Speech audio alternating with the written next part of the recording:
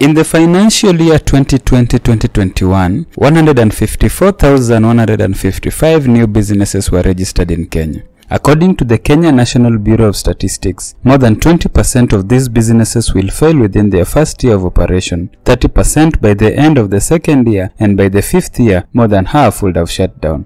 This is troubling considering the high unemployment rates in the country and the negative impacts these failures have on the economy. What are the reasons for these failures and how can they be remedied? A majority of people fail to properly study the markets they want to get into to understand if the product they want to offer is needed. That is, if there is a demand for it, the challenges they will face, and what would be the proper location for their businesses. All these factors play a critical role in determining if the business will do well or not. Having this information for a business person is essential as it ensures that the business person makes decisions that are data driven, hence increased chances of success. Failure to carry out research may also result in the duplication of ideas since many people tend to copy businesses they deem to be successful without properly understanding what they entail. Duplication also may cause the problem of oversaturation within a particular niche, therefore leading to the collapse of some businesses. One may also not understand what the customers want, further hurting the business. It is therefore wise to properly study the dynamics of the market one wants to enter to ensure that they are properly equipped to evolve the business into what the market needs and to create a niche for itself.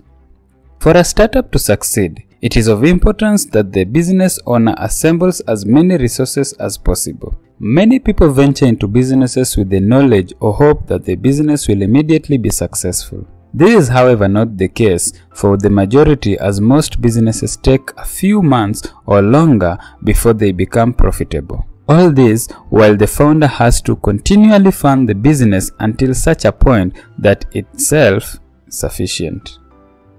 This is however not possible as most business owners rush into businesses without taking these factors into account.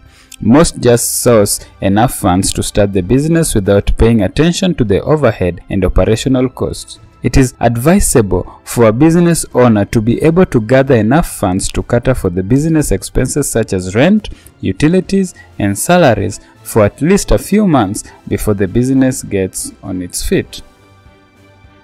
Another problem that plagues many startup businesses is the inability of some business owners to distinguish personal funds from the business funds. They usually take out business funds for personal use from sales without evaluating if the business has really made a profit or without accounting for operational costs. This negatively affects the business as it starves for cash, eventually leading to the collapse due to inability to restock or pay for operations. The business owner also has to regularly reinvest profits into the business to ensure its long-term survival. It is therefore advisable for a business owner to keep proper records taking into account all aspects of the businesses. This will help them to know when it is okay to take money from the business and how much.